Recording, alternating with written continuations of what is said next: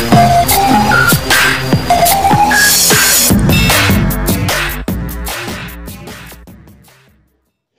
Hello friend, नमस्कार। Welcome to my channel visa guide. Visa guide देखने वाले आप सभी फ्रेंड्स का मैं हार्दिक स्वागत करता हूँ। चैनल शुरू करने से पहले आप सभी लोगों से रिक्वेस्ट है कि फ़र्स्ट टाइम व्यूअर इस चैनल को विज़िट कर रहे हैं, पहली बार जो व्यूअर इस चैनल को देख रहे हैं, उनसे मैं रिक्वेस्ट करना चाहता हूँ।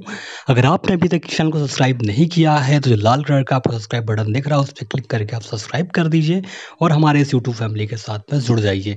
मैं इस चैनल पर जॉब इमिग्रेशन, वीज़ा के बारे में लेटेस्ट वीडियो बना डालता रहता हूँ, जो काफ़ी हेल्पफुल और इन्फॉर्मेशनफुल होता है। तो जिन्हें इस तरीके की वीडियो देखना पसंद है, वो सब्सक्राइब कर सकते हैं। साथ में जो बेल का बटन है, उस पर क्लिक करके बेल ज़रूर दबा दीजिएगा। नोटिफिकेशन के ज़रिए कोई भी वीडियो है, वो आपसे मिस नहीं होगा। आप मेरी हर वीडियो को देख सकते हैं। कभी कहीं भी आप रहें, अगर आपका बेल का बटन खुला हुआ है तो मेरी वीडियो सीधे आपके पास पहुंचेगा नोटिफिकेशन के ज़रिए। तो फ्रेंड्स, ये वीडियो मैं बना रहा हूँ काफ़ी दिन से। कई सब्सक्राइबर ने मुझे कमेंट किया और मुझसे पूछना चाहा कि अगर हम स्टडी करें तो कहाँ जाएँ?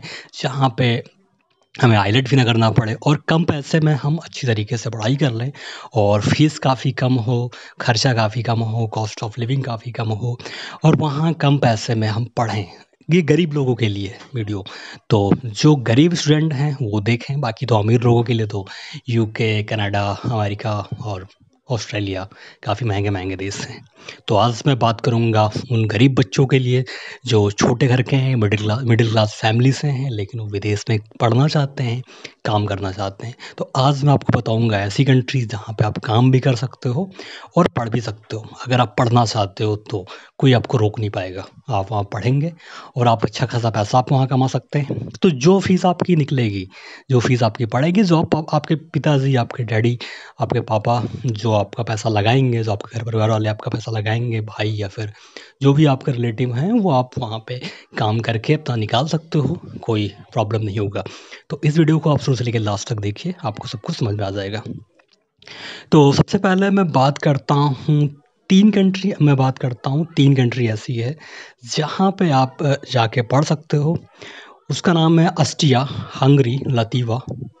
ये तीन कंट्री है, यहाँ पे आप जाके पढ़ सकते हो, ये बहुत ही चीप कंट्री है। ऑस्ट्रिया थोड़ा सा महँगा पड़ जाएगा और हंगरी भी थोड़ा सा महँगा पड़ जाएगा लेकिन लतीवा काफ़ी सस्ता है। तो और मैं बात करता हूँ, अब मेन बेस पे आता हूँ, जो मैं फाइव कंट्री आपको बोलना चाहता हूँ रिकमेंड करना चाहता हूँ, आप वहाँ जाके पढ़िए। तो सबसे पहले बात करता हूँ चेक रिपब्लिक की। चेक रिपब्लिक कंट्री काफ़ी चीप है यहाँ, रहना, खाना हाउसिंग सब कुछ सस्ता है।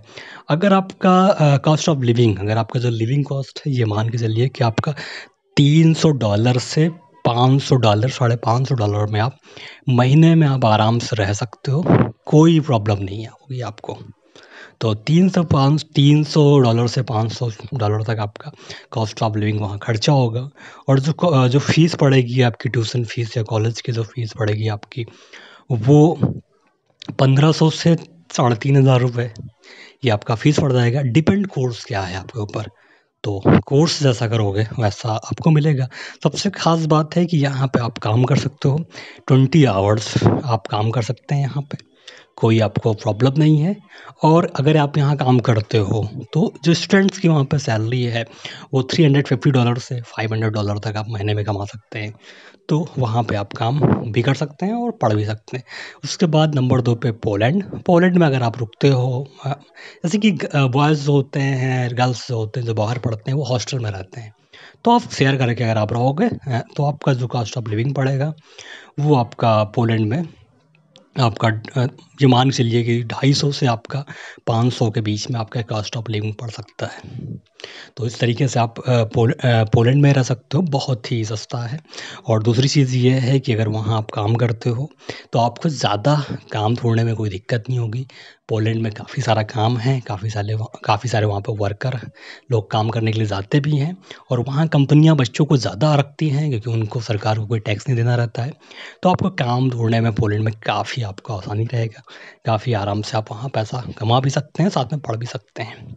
और जो फ़ीस है वो आपका पंद्रह सौ डॉलर से तीन हज़ार डॉलर तक आपकी फ़ीस पड़ेगी साल की तो ये आपको देना पड़ेगा जो कि ट्यूशन फ़ीस है।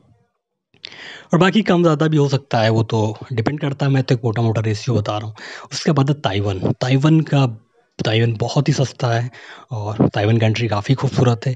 यहाँ पे जो आपका, जो कॉस्ट ऑफ़ लिविंग कॉस्ट है, वो आपका 200 डॉलर से 400 डॉलर आपका महीने में पड़ जाएगा। 200 डॉलर से 400 डॉलर के बीच में आप आराम से वहाँ रह लोगे और आराम से आप वहाँ खा पी के अपना अच्छे से पढ़ सकते हो। और अगर मैं ट्यूशन फ़ीस की बात करूँ तो फ़ीस आपकी पंद्रह सौ से दो हज़ार के बीच में आपकी फ़ीस पड़ेगी। आप जो कोर्स करोगे तो इतना आपका पड़ेगा। तो बेहतरीन है, आप वहाँ जाके पढ़ सकते हैं। और यहाँ पे अगर आप काम करते हैं तो ये मान के लिए कि मोटा मोटा आप छः से सात सौ डॉलर आप महीना कमा लेंगे अगर आप ताइवान में। अगर आप काम करते हो तो काम वहाँ भी काफ़ी ज़्यादा है। और यहाँ ताइवान में पढ़ने के लिए काफ़ी आसान है। काफ़ी अच्छा प्रोसेस है। मैं प्रोसेस भी आपको बताऊँगा कि कैसे आप यूनिवर्सिटी ढूंढ सकते हैं, कैसे आप वहाँ पे आप जा सकते हैं, कैसे आप पढ़ सकते हैं, कैसे आप एडमिशन करा सकते हैं। मतलब कुल मिला के आप इस वीडियो पे एजेंट को भूल जाइए। आप किसी, आपको किसी एजेंट की कोई ज़रूरत नहीं होगी, बस खाली आप मेरी वीडियो देखिए। आपको किसी भी एजेंट की कोई ज़रूरत नहीं पड़ेगी। सब कुछ आप खुद प्रिपेयर करोगे और सब कुछ आप खुद करोगे। उसके बाद मैं बात करता हूँ एस्टोनिया की। नंबर चार पे कंट्री है। यहाँ का जो कास्ट ऑफ़ लिविंग है, वो आपका साढ़े तीन सौ डॉलर से छः सौ डॉलर तक महीने में आएगा और फ़ीस जो है, वो आपका पंद्रह सौ से साढ़े तीन हज़ार तक आएगा। और यहाँ पे आप महीने में पाँच सौ से सात सौ यूरो आप कमा सकते हो। यहाँ पर आप महीने महीने में 500 से 700 यूरो आप कमा सकते हो और इस तरीके से आप वहाँ काम कर सकते हो। तो इस्टोनिया भी पढ़ने के लिए बहुत ही बेहतरीन जगह है, बहुत ही बेहतरीन है पढ़ने के लिए। उसके बाद मैं बात करता हूँ आपसे नंबर पाँच पे, जो जो कंट्री थोड़ा सा यहाँ पे एक्सपेंसिव पड़ेगा, लेकिन एक्सपेंसिव इसलिए क्योंकि ये कंट्री काफ़ी महँगा है, लेकिन यहाँ पर सैलरी बहुत ज़्यादा है। अगर आप काम करने जा रहे हो तो अच्छा खासा पैसा भी यहाँ पर कमा लोगे। तो एक चॉइस है, बाकी आप लोग की मर्ज़ी, आप लोग वहाँ पे पढ़ें या ना पढ़ें, जाएँ या ना जाएँ, आपकी मर्ज़ी है। एक चॉइस है। तो मेरे हिसाब से सबसे अच्छा मुझे कहीं लगता है पढ़ने के लिए तो डेनमार्क डेनमार्क बहुत ही अच्छा है। बहुत ही सेफ़ कंट्री है। रात बिरात, सुबह शाम कहीं भी घूमो। प्यारी पीसफुल बहुत ही अच्छी जगह है। बहुत ही शांति की जगह है।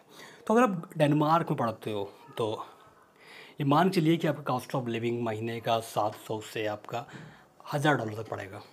जी, आपका मोटा मोटा और जो आपकी फ़ीस है, वो आपका अराउंड आपका पड़ जाएगा पाँच हज़ार से पंद्रह हज़ार डॉलर तक।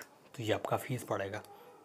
लेकिन ऐसा नहीं कि फ़ीस वहाँ पे ज़्यादा है, वहाँ पे सैलरी भी बहुत ज़्यादा है। अगर वहाँ पे महँगाई है, अगर वहाँ पे ख़र्चा है तो वहाँ पे सैलरी भी बहुत ज़्यादा है। सैलरी वहाँ पे इतना है स्टूडेंट की जो सैलरी है वो आप मान के लिए कि आप वहाँ पर ढाई हज़ार डॉलर, दो हज़ार डॉलर आप वहाँ महीने में कमा सकते हो डेनमार्क में। क्योंकि डेनमार्क का जो वर्क वीज़ा है वो मिलना बहुत ही मुश्किल है और वहाँ पे जल्दी लोग वर्क वीज़ा नहीं पाते हैं। तो इसलिए वहाँ पे वर्कर की काफ़ी कमी है और फालतू की यूट्यूब पे बहुत सारी वीडियो डेनमार्क का वीज़ा वर्क वीज़ा ऐसा वैसा। कुछ नहीं दोस्त डेनमार्क में वर्क वीज़ा बहुत ही मुश्किल से मिलता है और मिलता ही नहीं है। सिटीजनशिप डेनमार्क की बहुत हार्ड है, बहुत ही मुश्किल से। मैरिज करोगे आप तो शायद सिटीजनशिप आपको मिल जाए या फिर इन्वेस्टमेंट करोगे तो आपको मिल जाए। डेनमार्क सबसे सेफ़ कंट्री है, सबसे बेहतरीन कंट्री है। तो यहाँ अगर आप काम करने जाते यहाँ अगर आप पढ़ने जाते हो तो आप काम कर सकते हो अच्छा खासा वहाँ पर सैलरी है। तो डेनमार्क की मैं बात करता हूँ, बहुत अच्छी जगह है। और उसके बाद, और अगर थोड़े हल्के में आपको जानना है, लेकिन वहाँ कोई सैलरी नहीं है।